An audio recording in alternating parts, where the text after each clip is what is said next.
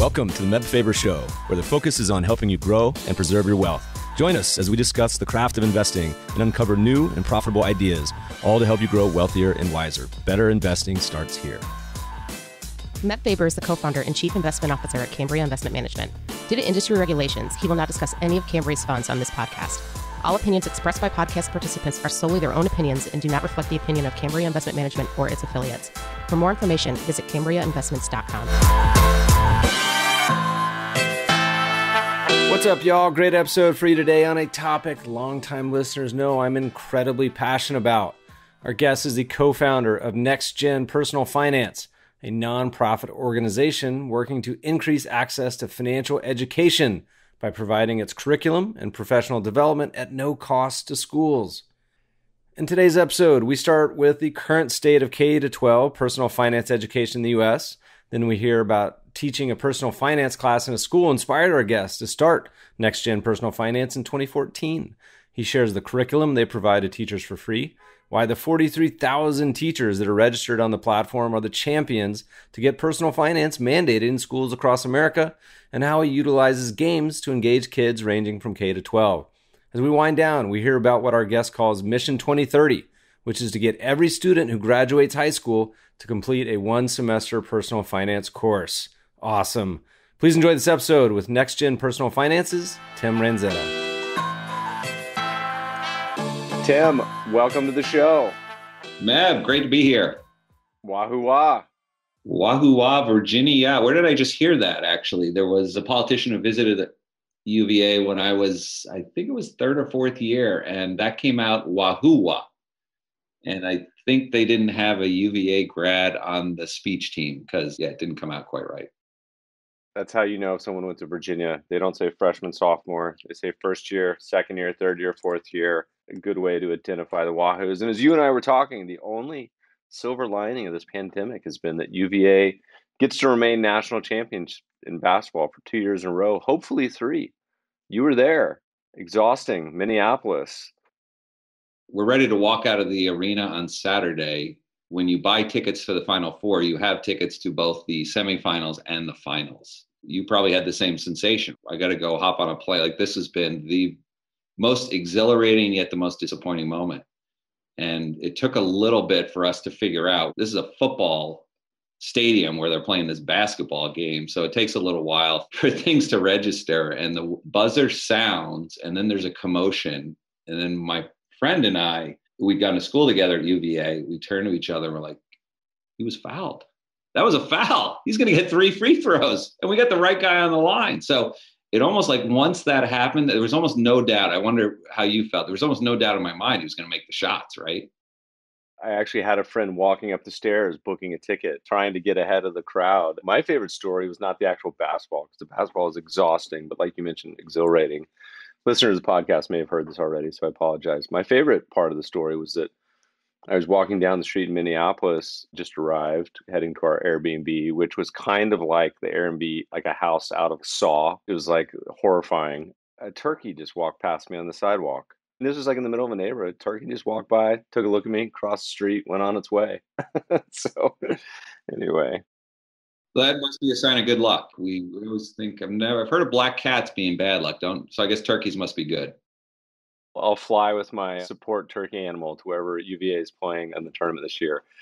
Tim, this is gonna be a lot of fun. Longtime listeners, and if there are any Twitter followers left after my consistent rants about the topic we're going to talk about today, know that it's sort of like the hill I'm willing to die on, my white whale, everything combined into one, my biggest frustration and struggle so, why don't you talk to us about just a quick sort of state of the world that we're living in and the problem? And then we'll kind of rewound, talk about your origin story and background leading into the solution.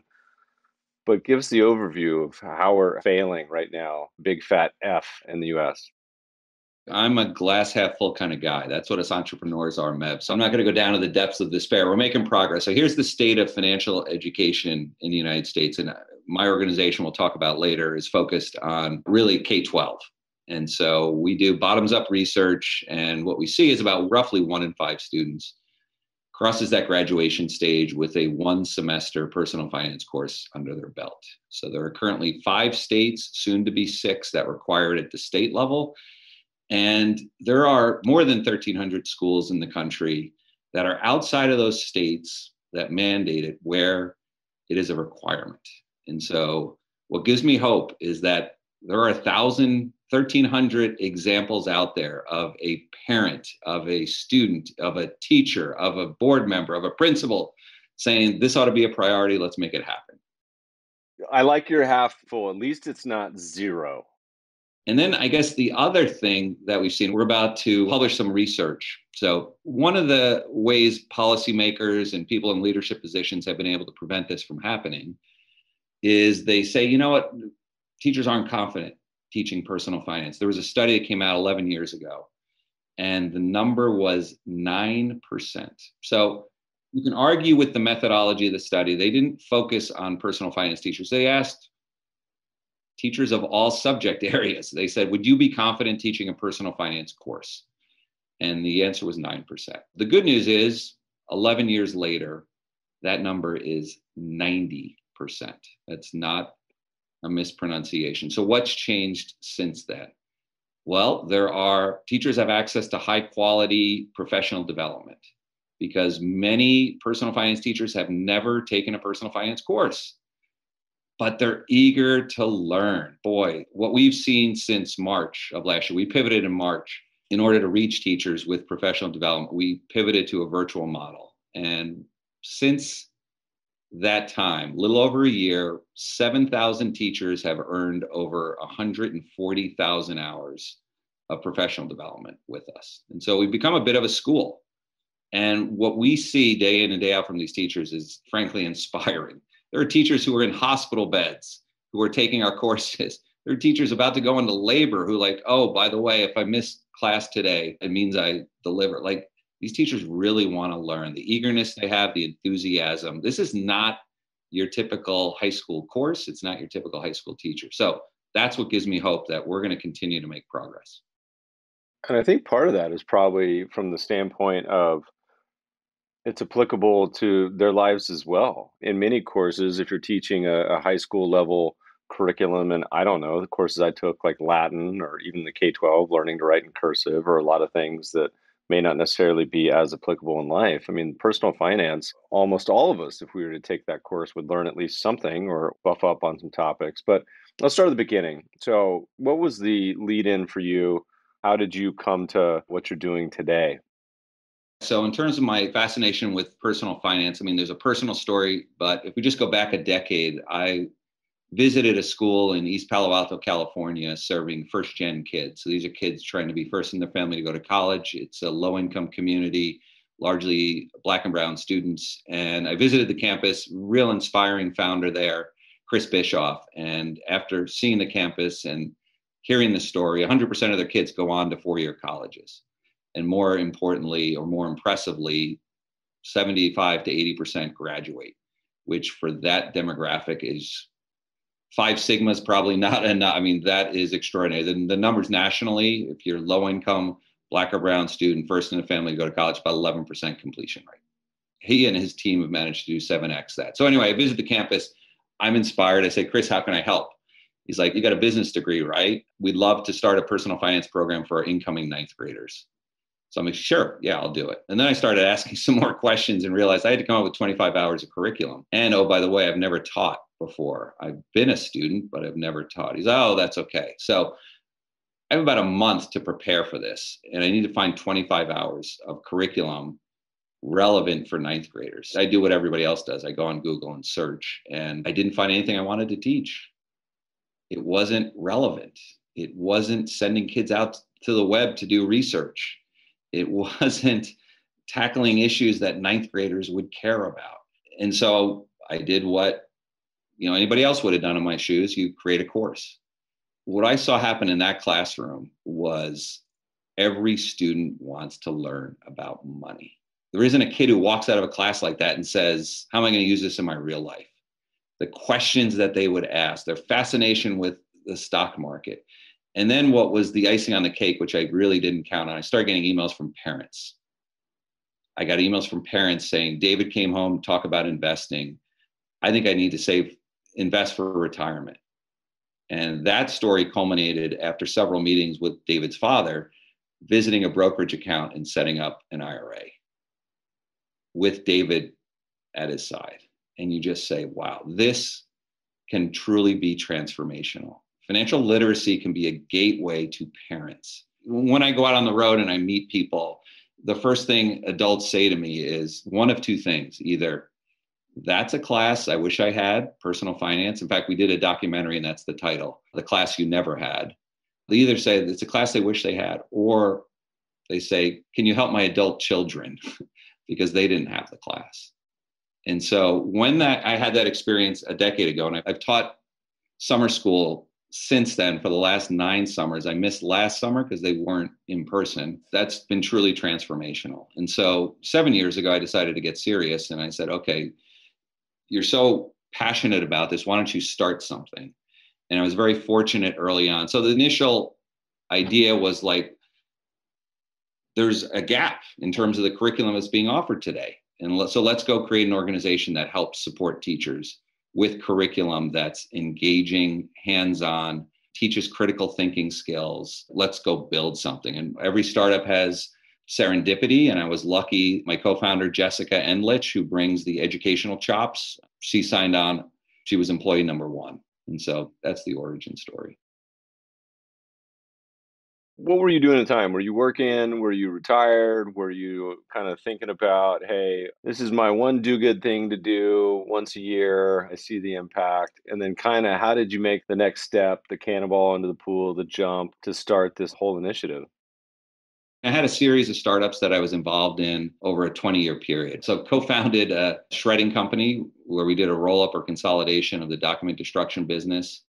You can say mafia. You can just say you were in the mob you know, with an Italian last name, you got to be careful. Actually, as one of our board members called us, we were white collar trash haulers. The one story I have there, like this is really roll up the sleeves type stuff for an MBA to do. We're having our holiday party. I ran our facility in Salt Lake City. That's how kind of I got my feet wet. And one of our largest accounts was a large financial institution in downtown Salt Lake City, where we would literally go desk to desk to pull their confidential materials. Like it was a big account. They paid us a lot of money. We did what they told us. Turned out the evening of our Christmas party, we discovered the person who did that account was not available that night. So I grabbed one of our drivers, David, and I said, let's go. We're doing this. So pretty much we went from the holiday party. I'm still dressed up for the event. We spent that evening, I think it was 9 p.m. to 3 a.m going desk to desk. My back, yeah, that is truly backbreaking work. So anyway, went from shredding to a company called Equilar, which is kind of one of the leading players today in compensation governance. Really enjoyed that experience with the founder David Chun, who's another Wahoo. Then went off and wanted to start my own thing focused on financial aid, helping. I have, I'm the fifth of six children. So my older siblings were sending their kids to college and they had all gone to college. Our parents hadn't, but they had. And they were struggling with understanding financial aid. So I was like, ah, I didn't really have a great business idea for this other than I want to help families navigate the financial aid process. And so that was a for profit that should have been a nonprofit. But what I learned through that experience is how little education was happening about this incredibly important decision about going to college and how we're going to pay for it and I had my phone number listed. The name of the company was Student Lending Analytics. I'm not even sure there's a website still up, but I would get calls from parents and kids in tears. I'm a junior at a university and I have $80,000 in debt. And they would often think they'd get me confused. They think I was a loan provider when I was somebody who analyzed loans. And you'd hear their stories and it just ripped me apart. Day in, day out, it was clear nobody had an incentive to educate these young people about these big decisions that, by the way, the tail on these decisions isn't one week, one month, one year. It can be decades. And so that was the other thought percolating in the back of my head was, boy, if we can really expand the amount of time that students are because okay so here's another statistic for you everyone's like well no guidance counselors take care of that right the ratio is 800 students to 1 here in the state of california when it comes to guidance counselors. So good luck getting advice from them. So let's use personal finance as a way to let's incorporate an entire unit about how to pay for college. So that's kind of what I was up to. Leading up to this, I had pretty much spent the about five years. We had two young ones at home, trying to figure out how to plug into this education reform movement. How could I have an impact on improving public schools? And so uh, joined, I think, a dozen boards, advised executives, and was really trying to understand like how do we make a difference? How in the United States when we know the tremendous opportunities available to kind of continue to make schools better better and better. And I think through that experience, I realized, wow, this is a big problem. And as I started percolating around this idea of personal finance, like this can really be, it's not going to change the public school system, but it's going to make school engaging, more engaging for so many kids. And it can make a difference in their financial futures. You went from sort of incubation idea to what's the actual birth story for next gen personal finance? What was the final decision to actually make this initiative and how'd you go about it? What was the date by the way? When did you guys get started?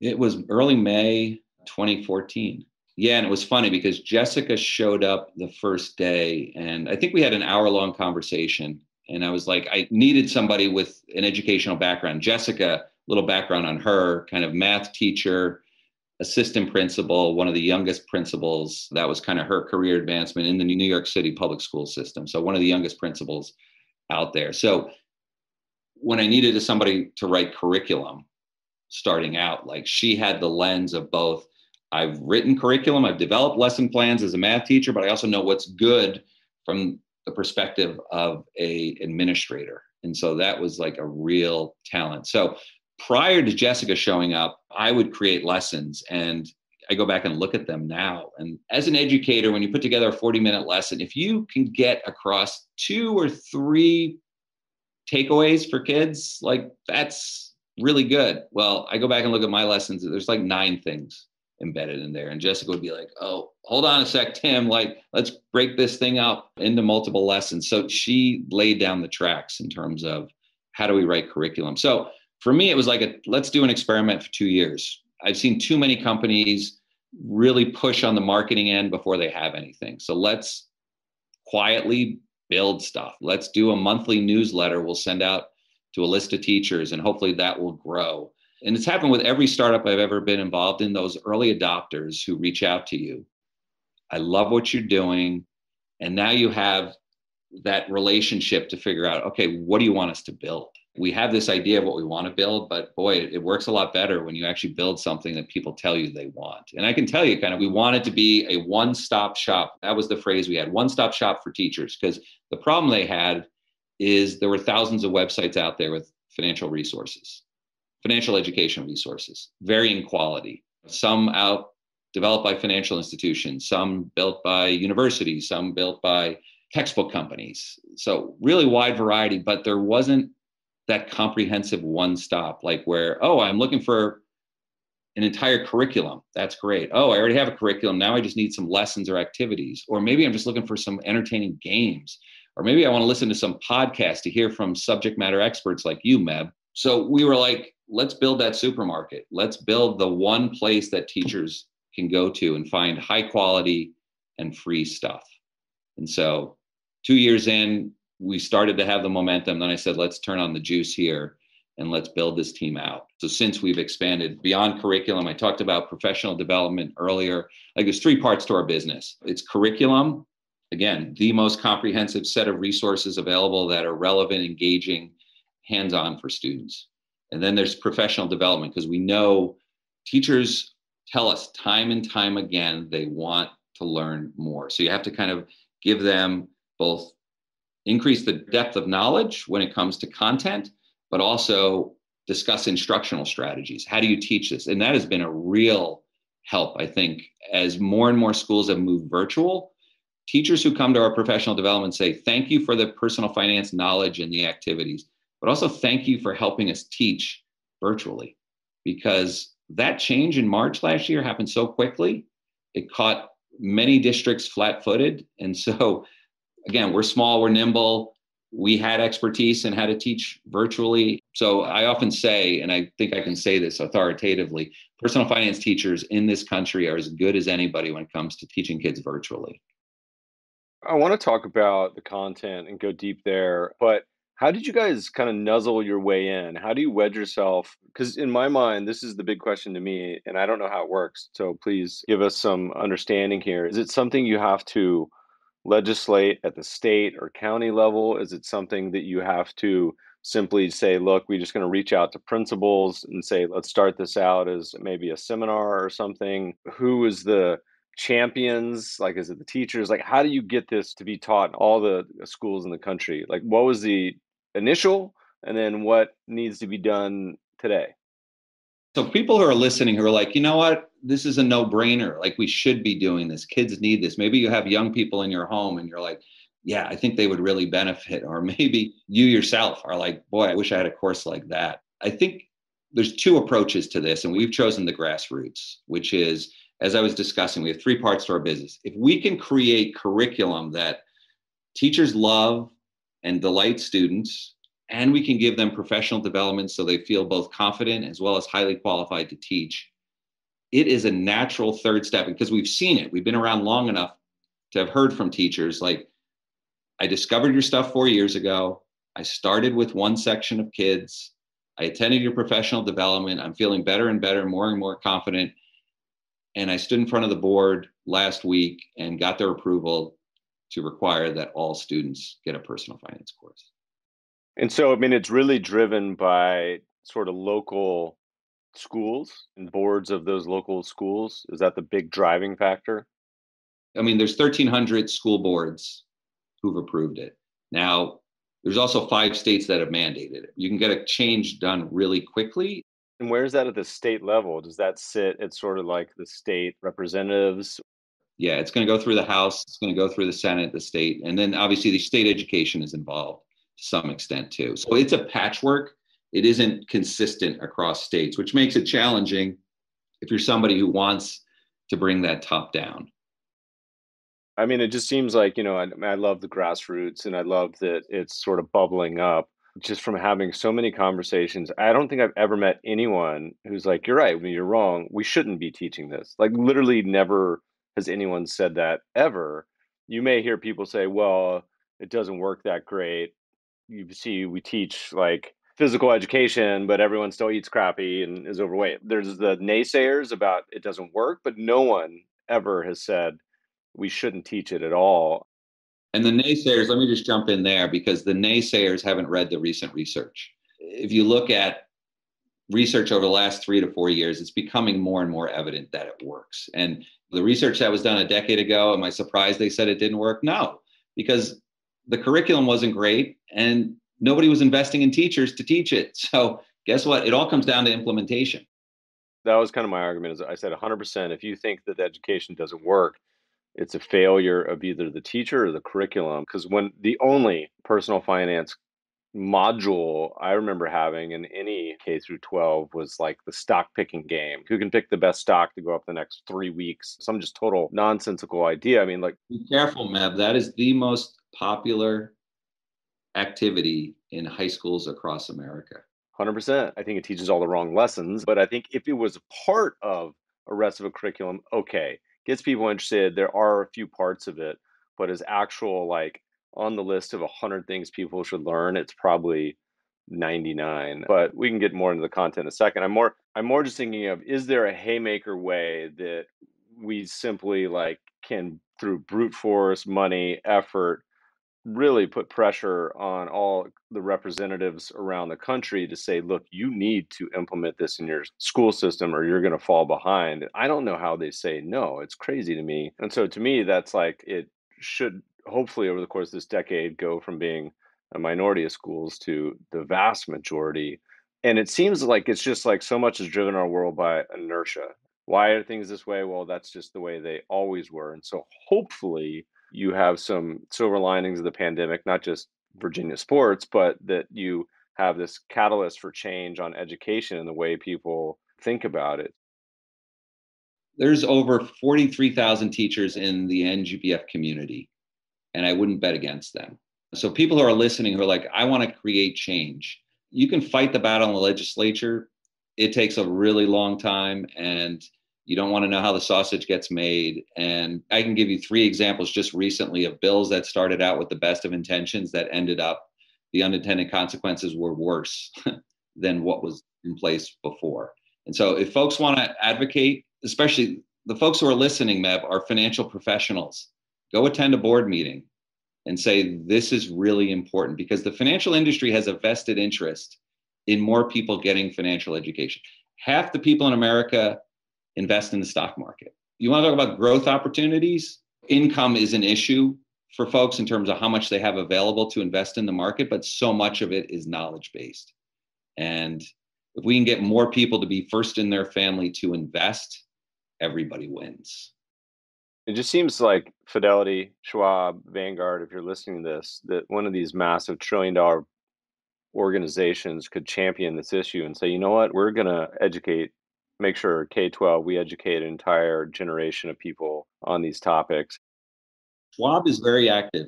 Schwab Foundation, Fidelity does some work in the space too. I've tried to talk more. I mean, Vanguard has a classroom economy game that's in the middle school, but financial institutions have trillion dollar balance sheets. I'm a nonprofit with 15 people. And are we creating change in this industry? Yes, but banks collect about $30 billion a year in overdraft fees. If they invested 1% of that, it raises the question like, do they benefit from folks not being able to manage bank accounts? Yeah, let's not go dark. Let's stay light.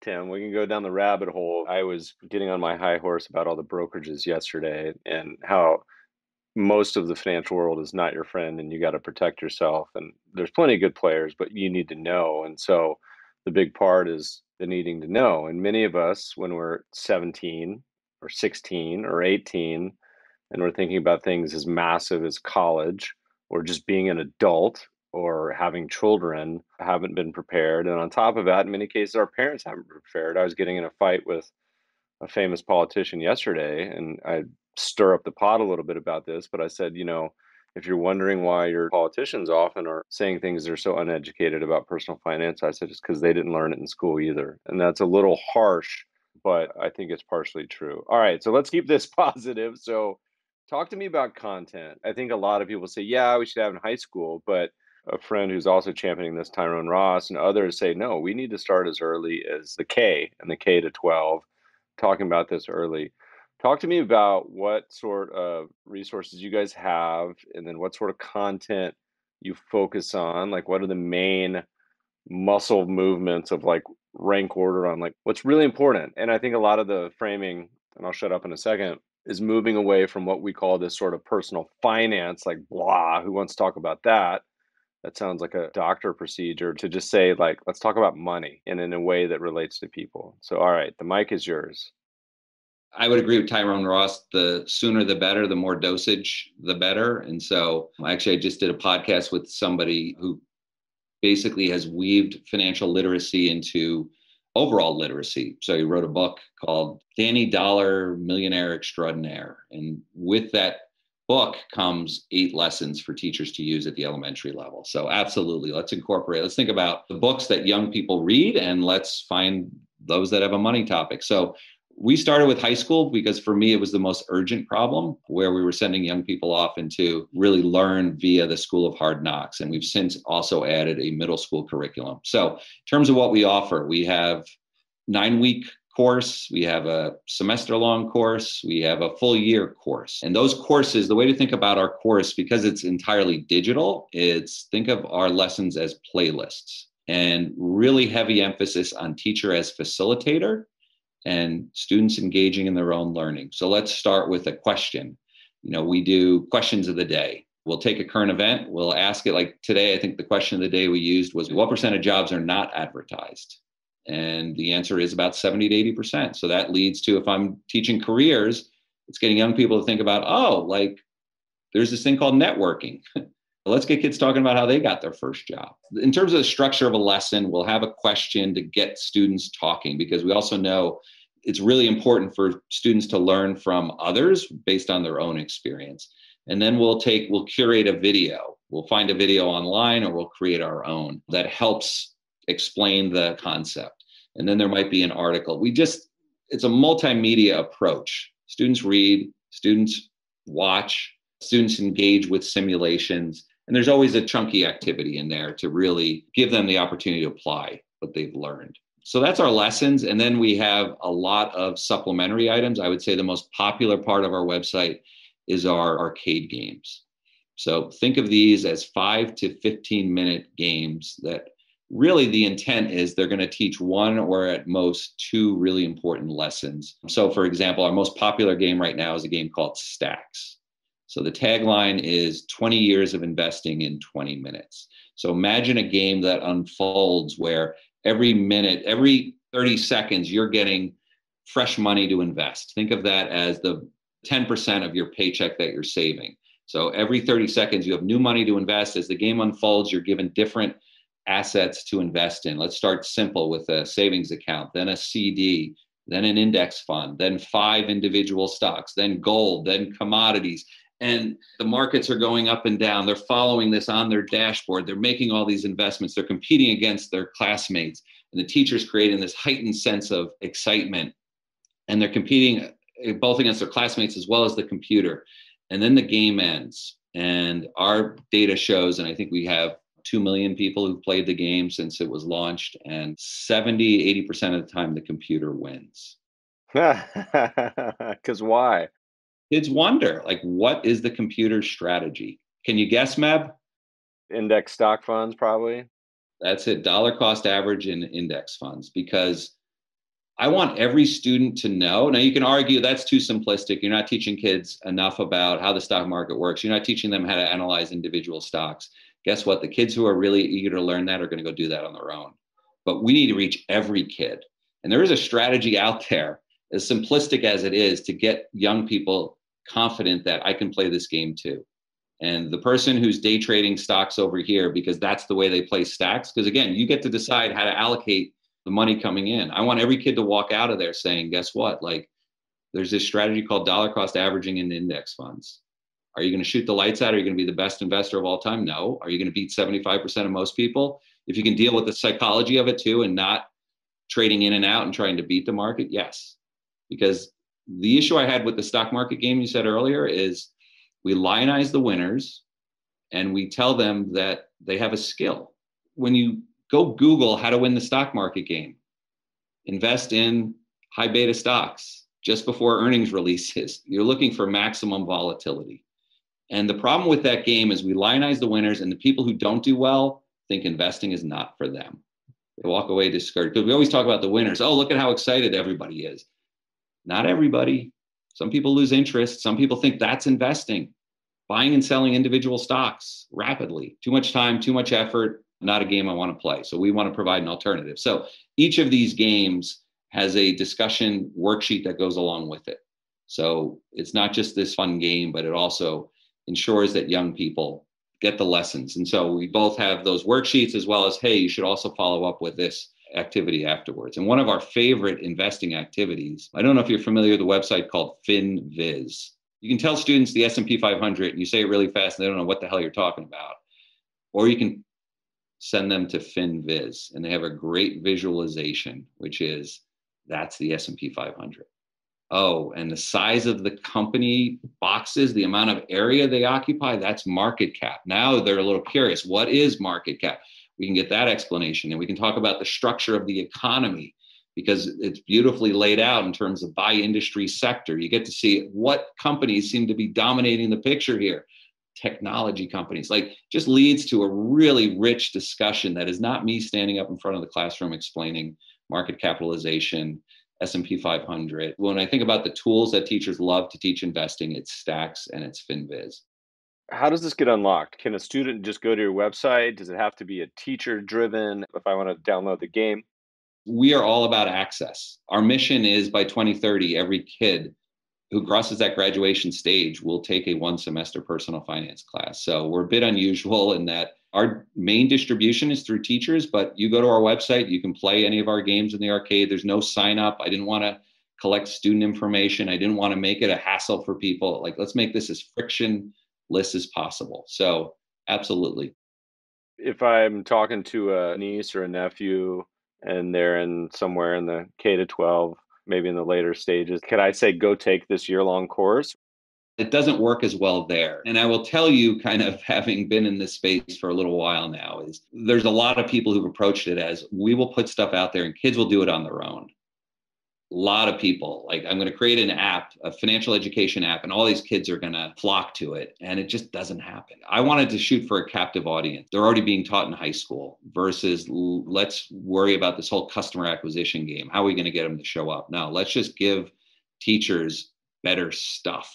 And every teacher we reach i think what really is great when you think about the leverage you get you know we have 43000 teachers who have teacher accounts with us, which means we have verified that they are actually a teacher because when you sign up for an account, you also get access to answer keys. Kids are pretty good about trying to figure out ways to get in there. So we actually have to verify that these are teachers. I will tell you about the games. So we partner with a digital ad agency out of Durham, North Carolina, and they've created eight of our games and just a phenomenal collaboration. They're just a really creative bunch and they're not ed tech they don't create ed tech games. They create engaging games. We have a game called payback where it's basically oregon trail on how you navigate to and through college because young people don't know what they don't know when it comes to college. So imagine a game where we're keeping track of your student debt and a lot of that is determined by the college you choose to go to. So every decision you make impacts your college debt but more importantly it impacts your connections your focus your happiness so you understand that, you know, eating ramen noodles every night may be a way to keep your student debt low, but there's trade-offs. And again, the power of these games is in the playing, the students are in control, but it's the facilitated conversation that comes afterwards too. Of all the topics, I got two kind of quick questions. First one, who's most receptive? K to 12. Is there an area that people are actually like more sponge like? They really are excited and engaged? I think as you get closer to folks leaving high school, these decisions like I get the car keys at 16. Well, that's probably a good time to learn about auto insurance because the high percentage of people who get into accidents, you better figure out how to file a claim. You're starting to think about careers, whether you're going to go off to college or whether you're going to choose to jump into a career. So you're very receptive to that. You probably got a paycheck if you have a job in high school. So now you're wondering, well, wait a minute, I thought I was getting 15 bucks an hour, but I'm not netting that amount. What's going on here? So you're, going to be curious about learning about taxes. I think GameStop and Bitcoin have brought investing into high school classrooms, and that's probably more so, again, juniors and seniors. So for me, like you want to give some doses, you got to meet kids where they are. So, ninth graders, one of the first conversations I want to have with ninth graders as they start to map out their high school, especially kids who are first in their family to go to college, is what is the difference between sticker price and net price when it comes to college because there's a lot of myths out there that college is not affordable when you see 70 80000 dollar price tags. And yet you know i had ron lieber on the podcast recently. The average discount for private schools is 52% they don't call it discounts they call it merit scholarships. And i also want talented young people who are lower income to see the chart that says the less your family earns the more aid that is available to you so, as far as topics, when you say things like money and personal finance, there's a lot, and you guys have about a dozen little modules on your site, everything from saving and student loans and banks and investing and credit scores. What would you put as sort of the pedestal top three that really make a big difference and resonate and have impact on the young folks? It's funny, you know, I reached out to some financial institutions to ask about this. There's no simulation available to teach kids how to manage a bank account. Again, we're kind of caught in a world where there's still some people teaching how to write checks.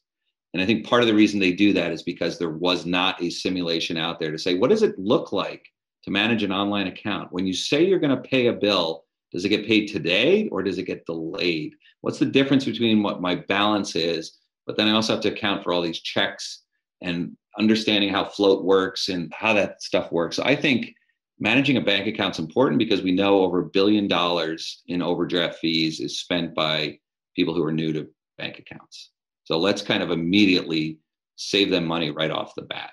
This idea of what you're going to do after high school is incredibly important. The stakes are so high. Not only, you know, the downside of student debt, but understanding the relationship between education and long-term earnings So we have a great budgeting simulation where students kind of choose a career, they get a salary, and then they pick a city they want to live in, the apartment cost. They go through all these cost items.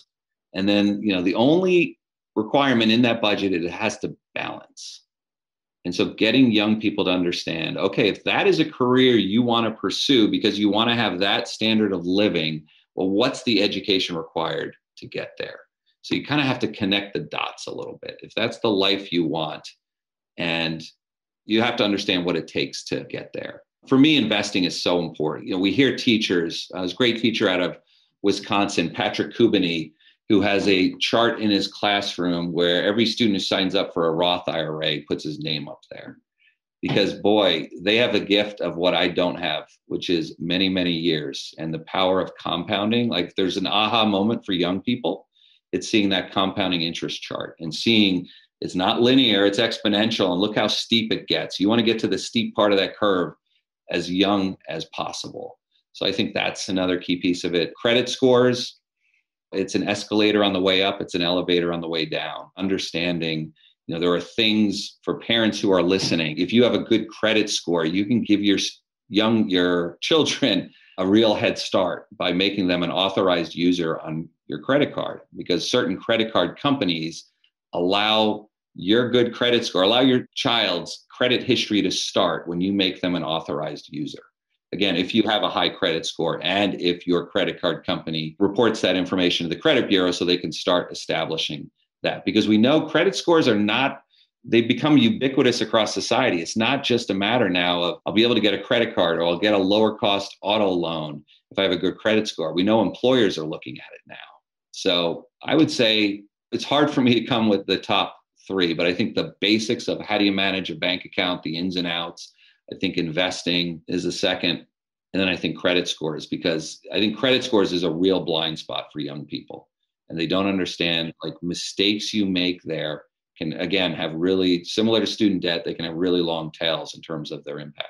You don't have to be rich to have a good credit score, right? There's just basic behaviors. Get a credit card, spend $5 at your local cafe, pay that off every month. Now you've got a check box. You know, there's myths out there that you have to have a balance on a credit card in order to get a credit score. So you have to dispel these myths at a young age.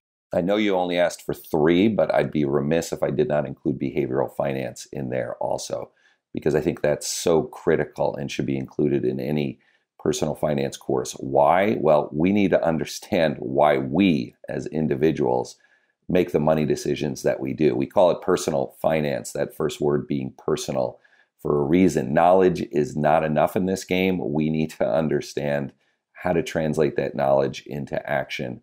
Huge shout out to Morgan Housel for his new book, The Psychology of Money. He's a masterful storyteller and does a great job in those 19 chapters helping connect financial concepts in new ways. So I encourage folks to read that. But within our curriculum, how do we weave in behavioral finance? Well, with students currently in high school, we better be talking about social media and getting them to reflect on how social media impacts their spending or their attitudes towards money. We also have some investing games so students can understand the emotions that come from market ups and downs. And so again, I think it's absolutely critical that we include that in any personal finance curriculum so folks get a better handle on why they make the money decisions they do.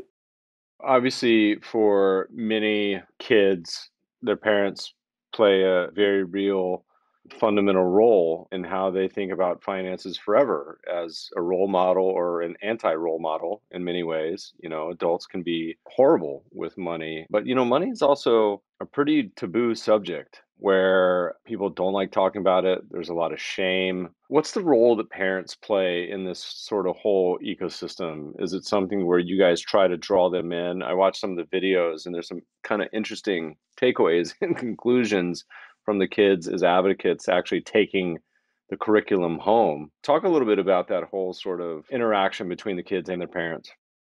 We're clearly shaped by our parents, and I am no different than that. One of the reasons I'm doing what I'm doing is to honor my parents who are no longer here because the lessons they taught me, you know, it, my dad was a banker. We talked about money at the dinner table. I had a dog walking job when I was seven. I don't know why my older siblings made me do it, but it was the best thing they ever did because every Friday afternoon, Mrs. Battiston gave me a $5 bill and I walked two thirds of a mile to the United Jersey Bank and they stamped my passbook and I brought it home. And my dad asked to see it at the dinner table. He patted my head and savings habit was there. He was also very smart because he knew he didn't have enough money to send six kids to college. And that was a good way to instill in us like if you wanted to go to college you were going to have to earn your way there and you grow up thinking like that's kind of the way maybe other people would grow up so when i discover that no this is taboo and nobody talks about it and it's really an enormous deficit for young people like this is a way for me to get back because of this tremendous gift that i got. So what's the role parents? I think the way to reduce it as a taboo subject is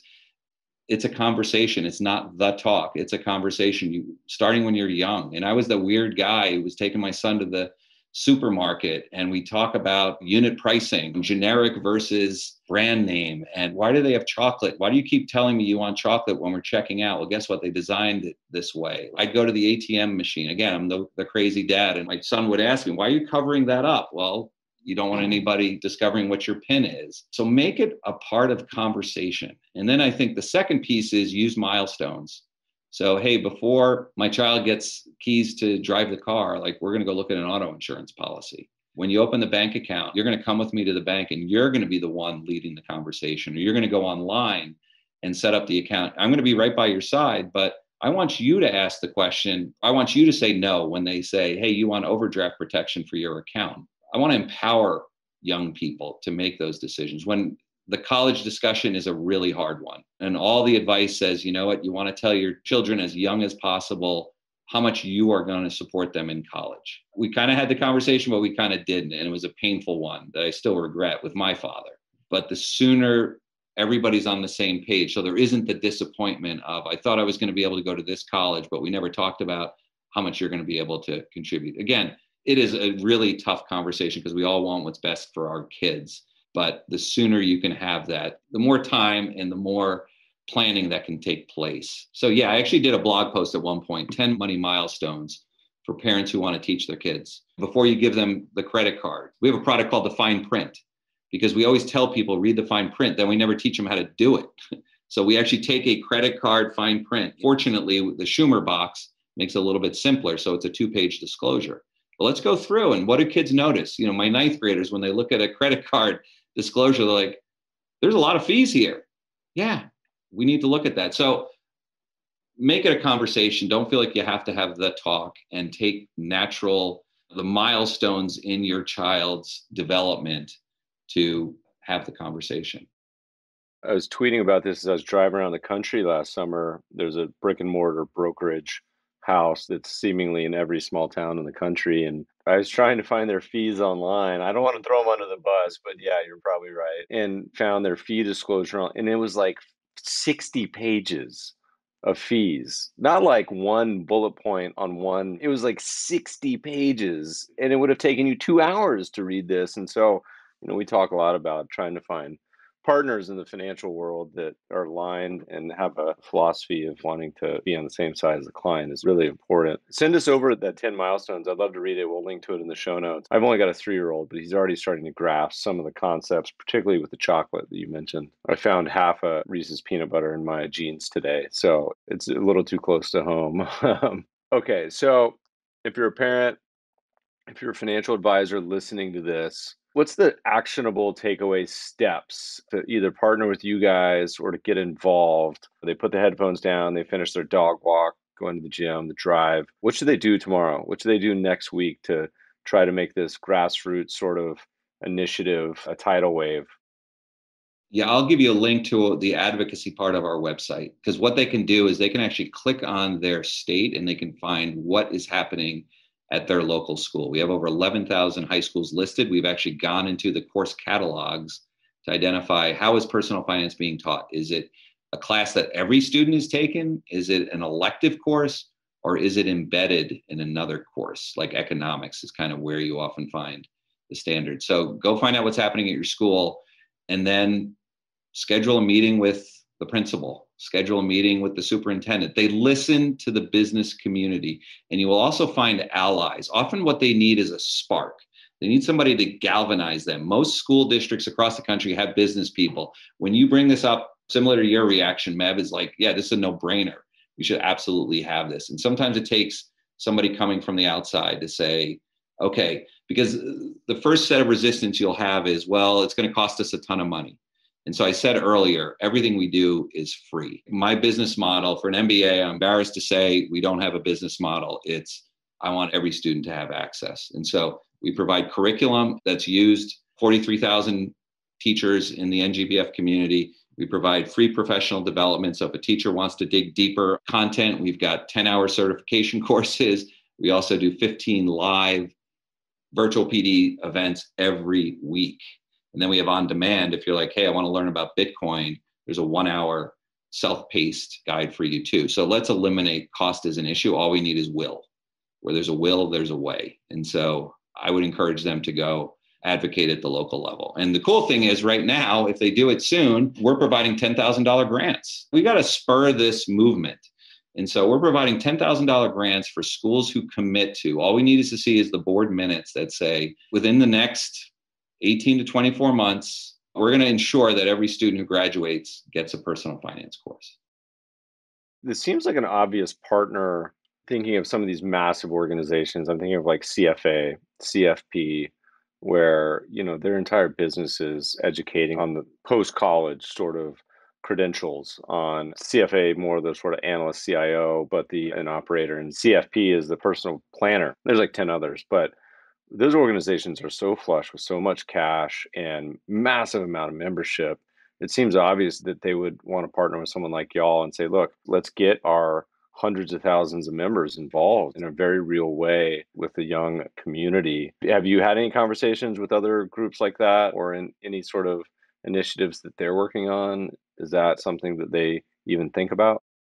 We've heard from individual RIAs who said, you know what, my clients are asking about this. So can we white label or can we use and like folks, there's no pride of ownership here. Find stuff on our website and use it.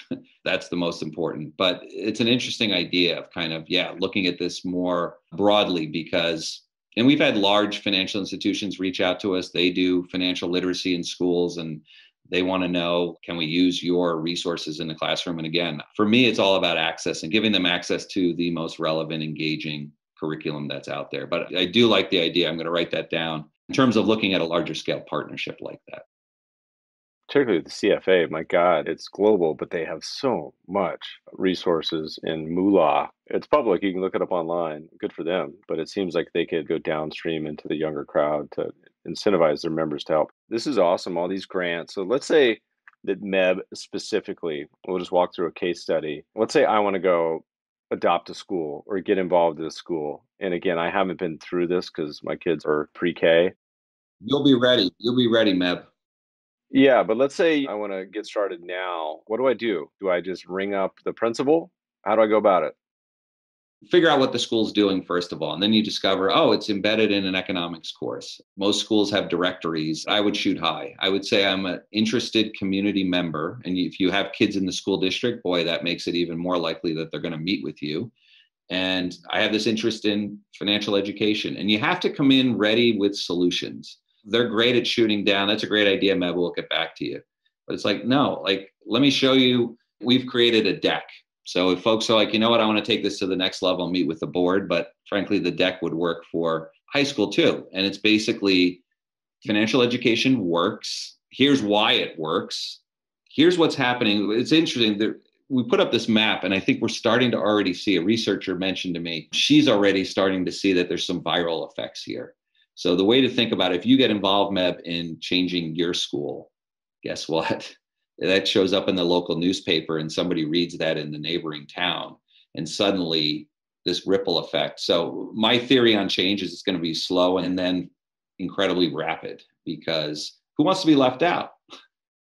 So let's say i want to do this again. I see that my school is doing nothing or on the tiers where's bronze?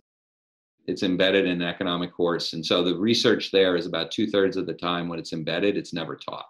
And what's silver Silver is an elective. And gold is their teaching it required? All kids. Well, I see my closest school is bronze. I want to reach out. I would do first is I'd look at the board. I'd go look at the board of the school district and find somebody who's a business person. because then it's, it's business to business, or if it's a finance person, that's even better. So it's the board of the whole school. And how many schools are typically in a school district? America is a wonderful place. you have New York City with a million students, and then you have districts that are just one high school. It's easier if there's only two or three high schools. Let's say there's 10 high schools. Let's start a pilot project. so let's say they're not doing anything, and I reach out to a business person on the school district board and say, look, here's who I am, here's the issue, here's what I want to do. What's typically like the next resulting step? Do you have to go present to them? Are they debating it in committee? Does it have to go to some sort of what? It's going to vary. So I'll give you an example. I'm talking to a board member in Wisconsin who reached out to us and said, I want this to happen.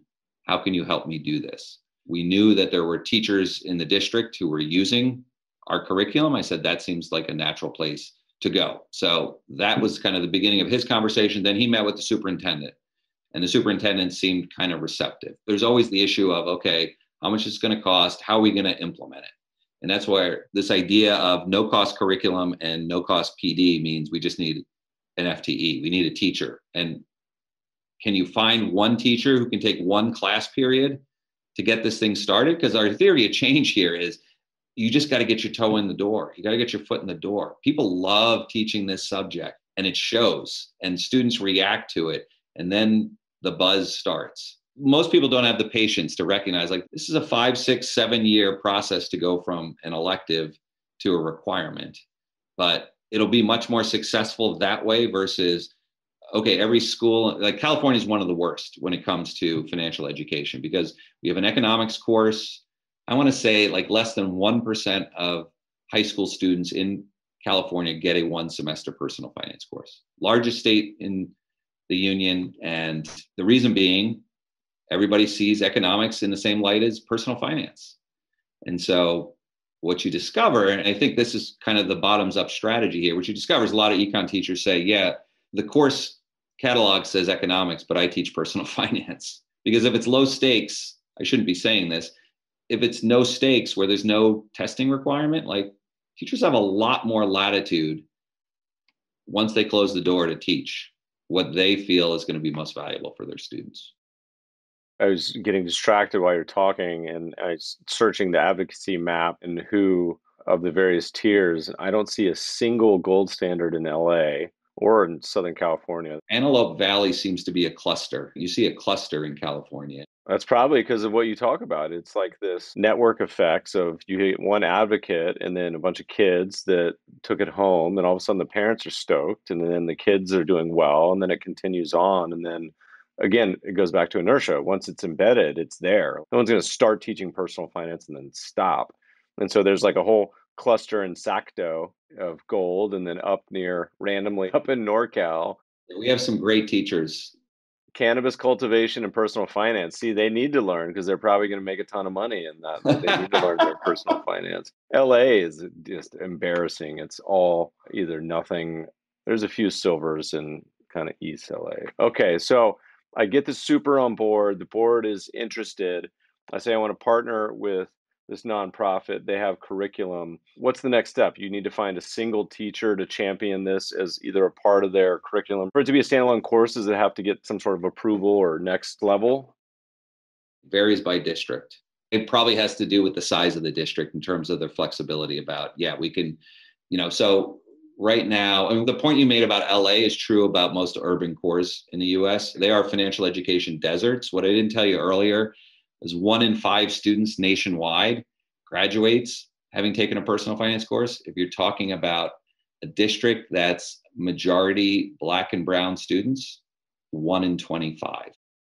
That's so frustrating. It's just hard not to get, on one hand, like really depressed about it, and the other hand, get really angry about it because it creates cycles. It creates these loops that have, you mentioned this in the beginning of the podcast. It's not just repercussions that last in your lifetime of decades, but it has repercussions on all of your children and relatives as well. These decisions that compound is the best way of saying it. Like the beauty of wealth compounding, but the opposite is true. Particularly, you get under a massive debt burden and income troubles, like that has long lasting effects.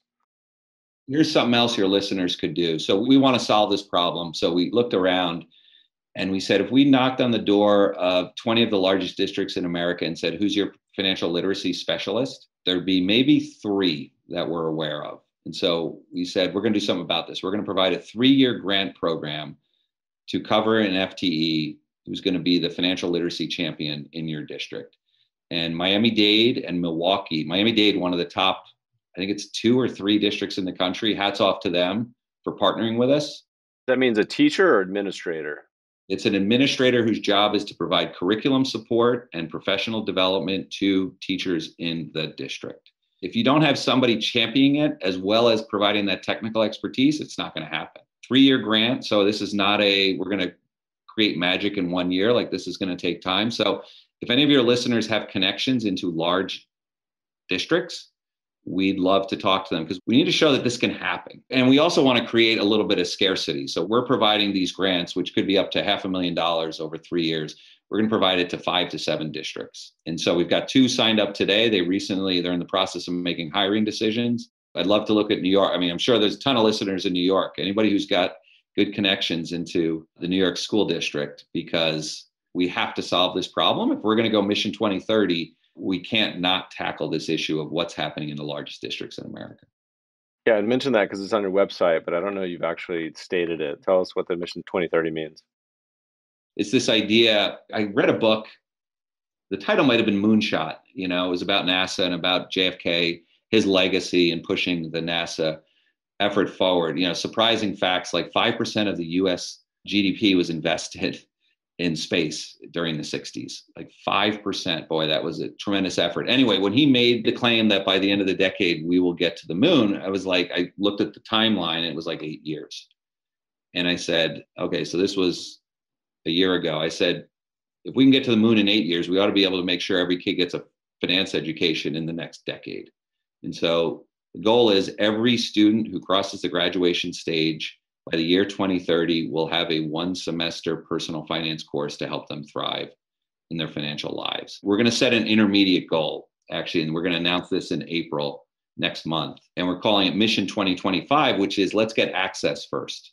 Let's get every high school to offer a personal finance elective because right now, a personal finance course is being withheld from 30% of students in the US. We ought to be able to solve for that. So that's kind of our intermediate goal and then our long term goal.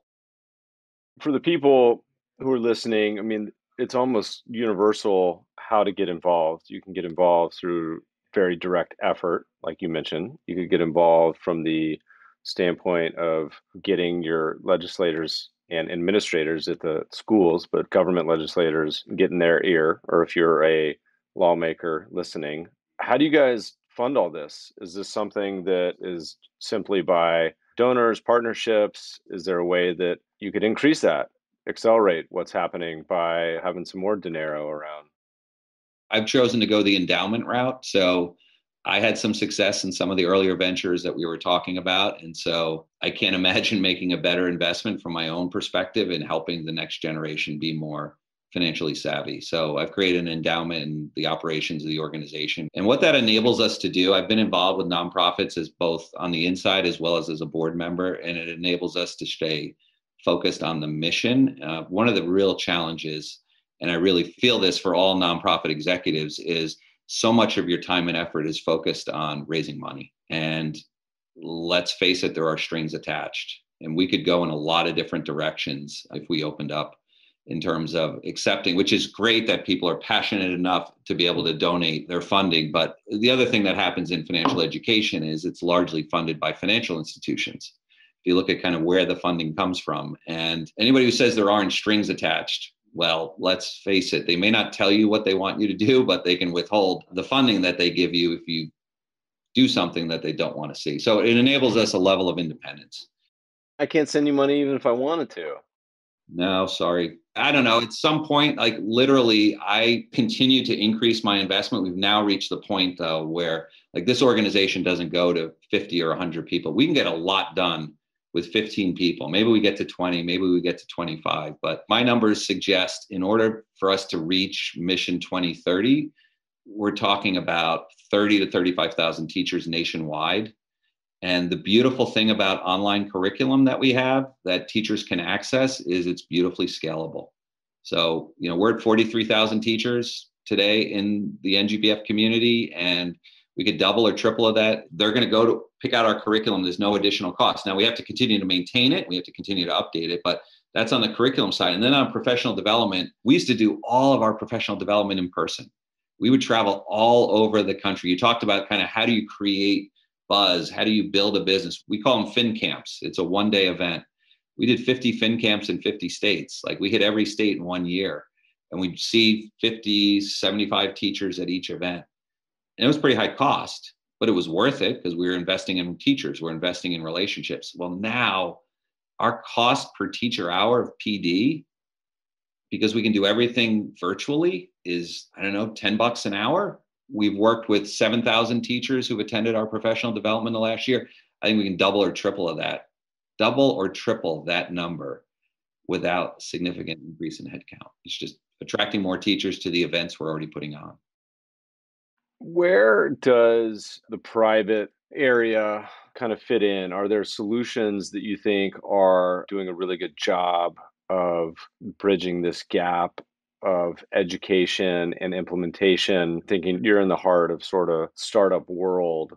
Are there any that you think say, you know, look, we're doing what you're doing on the next gen side where it's this nonprofit endowment model. Are there solutions that you say aren't a good fit for you guys, but maybe work out as a sort of startup that you say, hey, that's doing something really cool? Any ones you've seen or any sort of companies that you think are get a gold star for their idea or implementation? I spoke to folks at Public earlier this week. I don't know a ton about them, but they showed me some of their financial literacy stuff that they have up on their website, which I thought was pretty good. I think UI really matters when it comes to financial products for young people. This idea of gamifying investing. Boy, do I love the numbers. I was on a call with Schwab, highlighted some research they'd done on Black investors and significant increase in access to financial markets. And their survey focuses on incomes over $50,000 a year but significant increase in interest in the stock market, significant interest in access, significant interest in it's being discussed at the dinner table. That's great news. But is the UI encouraging them to trade often, to trade on margin accounts, to trade options?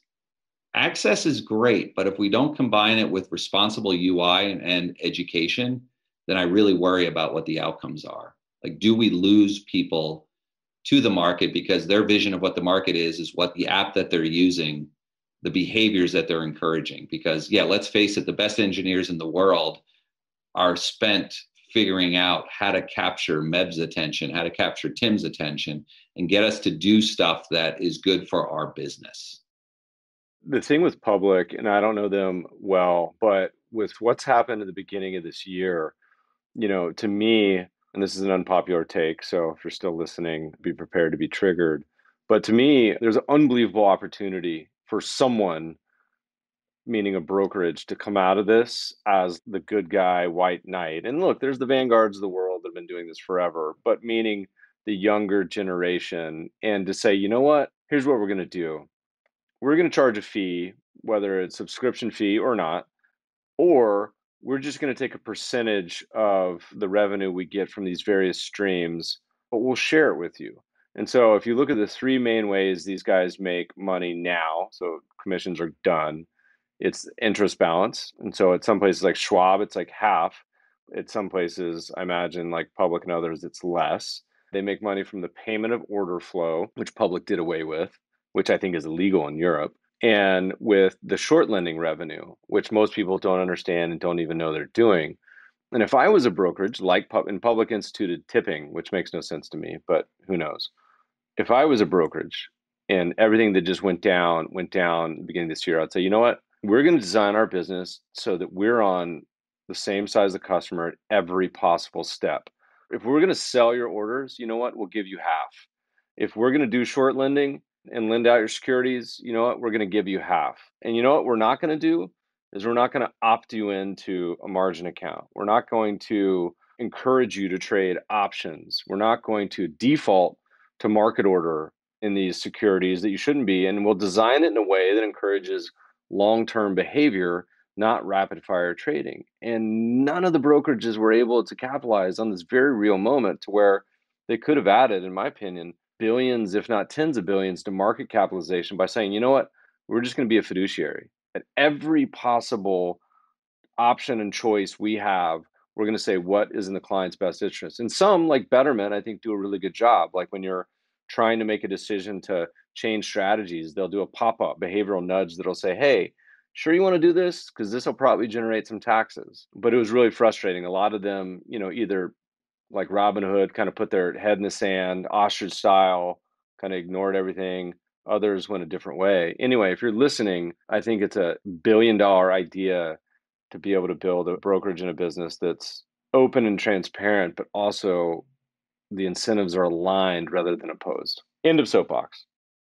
You got a long history in regulation. How did it get to be you could trade options so easily? Like when I saw, I think it was a New York Times article about how the options book for Robinhood's 20x their nearest competitor.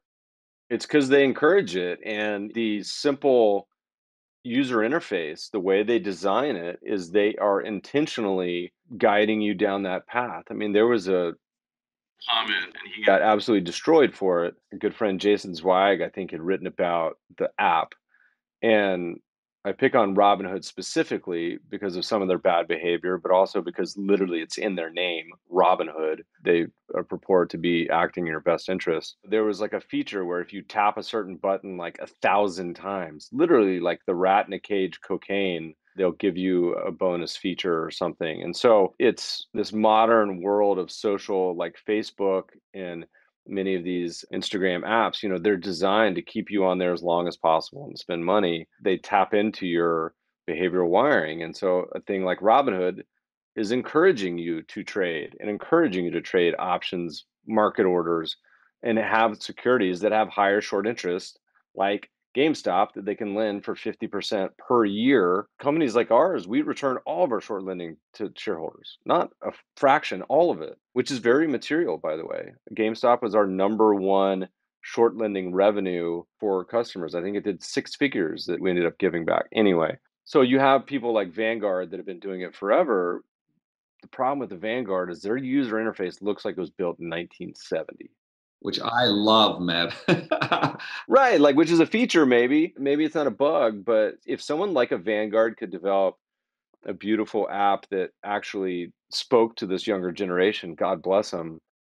They have not seemed to be that interested in the market though, right? They still have high minimums. Like you look at their mutual funds, yeah, you could buy ETFs, but their brokerage, I think, is I thought it was zero, and I think their digital advisor is zero. So you could buy their new digital advisor, I think, is the cheapest one. They cap it at 15 basis point, including fund fees. I could be wrong. Look it up. And I think plenty are fine. It's really frustrating because it got lost in the whole narrative of the media of, you know, hey, Robinhood's a good guy in the story. And I was saying, no, they're sheriff of Nottingham. But didn't mean for this to take a turn of me just trying to dunk on Robinhood. I think I triggered that. I was the trigger. So just blame me it's a little too raw and recent. And they'll pay a fine, let's be honest. But if you look at their stock has probably doubled or tripled on the private markets. This has been very good for them. It's not been a negative. I saw it at one point trading at $60 billion in the private market. So we'll see how much they get fined. It was like a million new accounts, right, on that Friday when all this was going on. Anyway, listeners, lesson is find yourself in every aspect of life. This is when you're buying a house, car, every single financial interaction either a required fiduciary. So in my case, it's a registered investment advisor that has to be like a doctor in your own best interest, or at least if you're not, find them to have common incentives to where you're on the same side of a deal as opposed to opposite sides like Robinhood. I'm glad you mentioned that too, because we actually incorporate, we spend a lot of time talking about incentives. So actually, one of our activities is a role play where you're in a bank because again i've talked about this several times now but overdraft protection is a multi-billion dollar business for large banks. And by law they are required to get you to opt into that. And the opt into that usually goes something like this. Meb you don't want to overdraw your account do you? No i don't. Okay we'll sign you up for overdraft protection. Boom. So now you're new to a bank account. You make that mistake. You overdraw your account. Well If you do multiple transactions in a day, that can be up to six, in many cases, up to six in a day. Six times $35 is over $200 in fees because you didn't know what overdraft protection is when they sold you on signing up for it so many of the businesses, and this is legacy Wall Street as well as a lot of the modern fintechs. You know, a lot of the modern fintechs we see this. No, we're disrupting, we're democratizing investing, and you look at what they're actually doing. You say, "Whoa, that's an actual amazing business." Horrible for end consumers. I mean, there was a savings app that I love to pick on that really upsets their consumers. But I say, look, you know, they have $200 average balance and you're charging them six to $12 a year you're going to eventually earn all of their balance. So unless they you help them grow this to 2000 or 20,000 like it's predatory from a different name. Anyway, all of this relies on trying to get people to be educated. Tim, you're doing God's work. Where can they find out what you guys are up to? If they want to follow along, they want to get involved, how do they find out more? Yeah, come to our website, www.ngpf.org. Sign up for our blog. Every day we're putting out a couple of posts. You can kind of gives you the ability to keep up on personal finance also. And then go to the advocacy page. You can create change in your community. We've seen it, right? I mentioned 1,300 plus schools. It started with one individual saying, I really care. And the impact you can have is not only on the students in the classroom in your community, but we've talked about the ripple effect and how this can change families. So go out there, make it happen, and share your stories with us because there's nothing that inspires us more on the team than hearing about all the great things, all the great advocates out there that believe in Mission 2030. Good. I'm going to follow up with you later. I'm going to do my best to adopt LA, which seems to be at the bottom of the barrel of municipalities. We'll talk more about it. We should also do a yearly checkup. I want to make sure we get to 2025, 2030, hit these goals because I think it's a crisis and you're one of the leaders making this happen. Tim, thanks so much for joining us today. Thanks for giving me a platform because I consistently, like I said, I reach out to you because people don't think anything's happening in the space and we're relatively new and we're very well known within the space, but we haven't broken out. This is fun. Really appreciate it, Tim. Thanks so much for joining us today. Thanks, Meb. Podcast listeners will post show notes to today's conversation at mebfaber.com forward slash podcast. If you love the show, if you hate it, shoot us feedback at the mebfabershow.com. We love to read the reviews. Please review us on iTunes and subscribe to the show anywhere good podcasts are found. Thanks for listening, friends, and good investing.